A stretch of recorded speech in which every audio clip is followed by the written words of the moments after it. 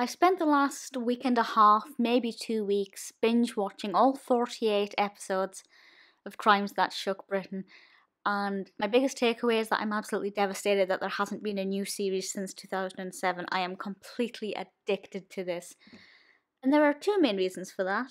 Maybe three reasons.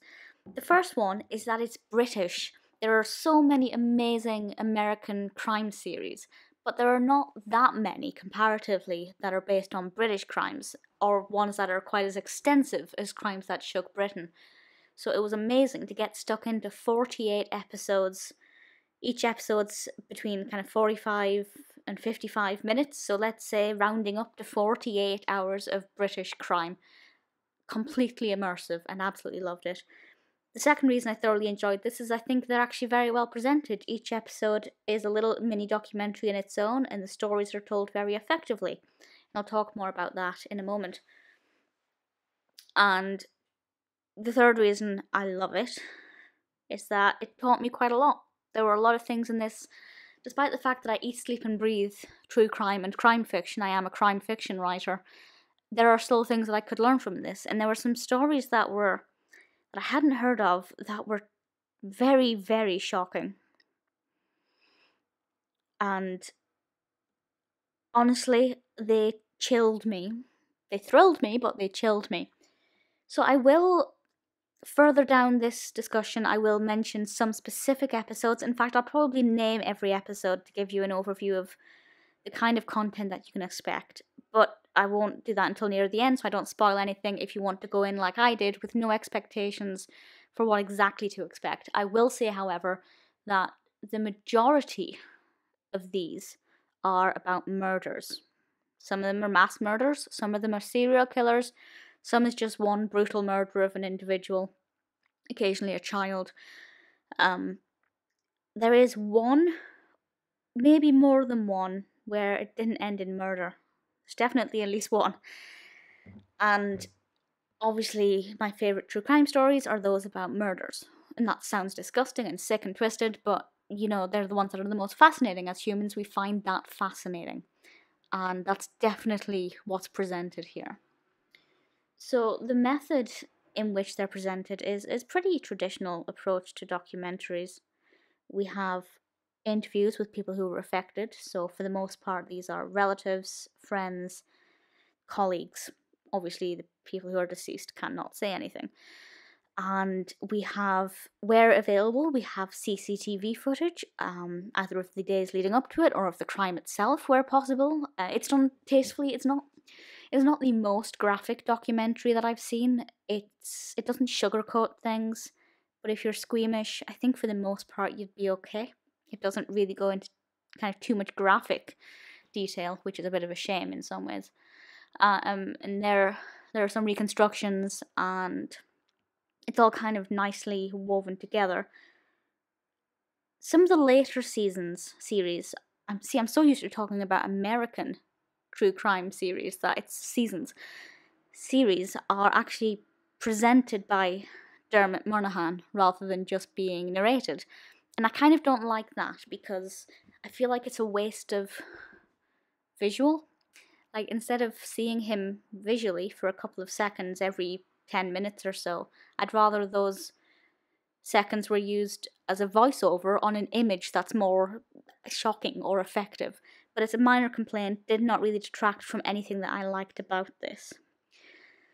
So I'm going to um, also I should point out it's narrated by Tom Roberts um, and Murnaghan presented it from I think six onwards. And I'm going to quickly whiz through a couple of the episodes that really stood out for me to kind of give you an overview of the kind of things that you'll face. Oh, something fell off the table. Also, I really just want to talk about these because I'm ridiculously excited. So these are well, I found it quite weird actually because when I was watching them, I was watching them on Amazon Prime and it's actually in a slightly different order and not all of the episodes are exactly the same. There are a couple that are not listed here on Wikipedia, but a couple that are on here that weren't there. So I'm not exactly sure what's going on. It was originally broadcast, there are other versions of it, but for the most part, this is um, what we see is what we get. So there's oh, there's the Hungerford massacre where Michael Ryan shot dead 16 people and went on this rampage. Absolutely terrifying stuff. There's a section, there's one on Harold Shipman, which is very, very interesting. Obviously, it looks at the murder of young Sarah Payne.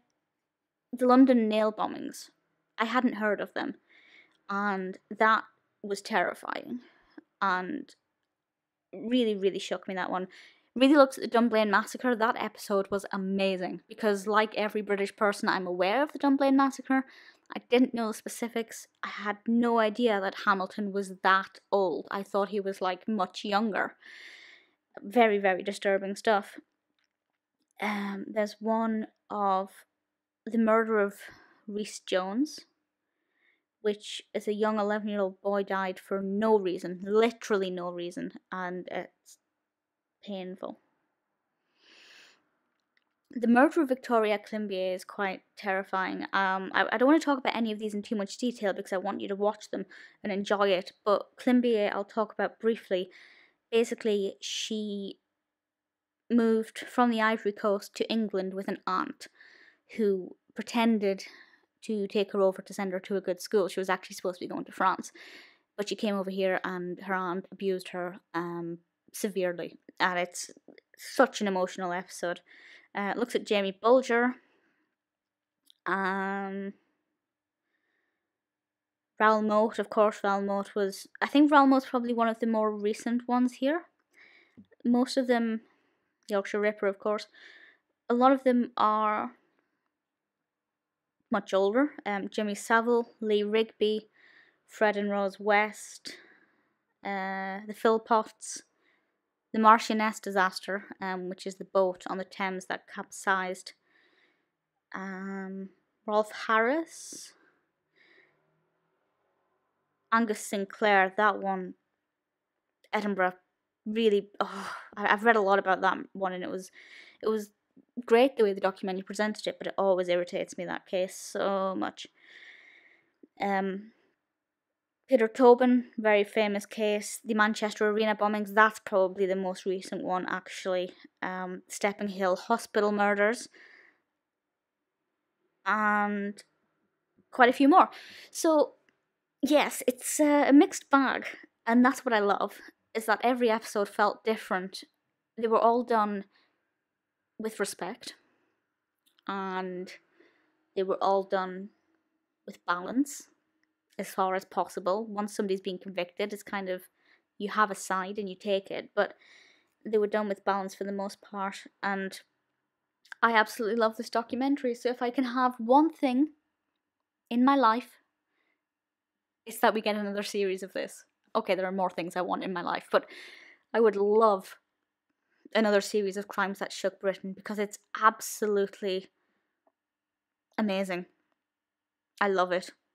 Apparently, according to Wikipedia, it was rebroadcast between 2014 and 2019 in a completely random order on Channel 5 under the title Britain's Worst Crimes. So, when you if you do go on to Crime and Investigation on Amazon, which I strongly suggest you do, if you're into into true crime, which if you're listening 8 minutes into this video, I assume you are, then just bear in mind that the episodes are not necessarily the order that they say they are. But I do thoroughly recommend it. It's one of the best series I've ever seen, and I desperately need more.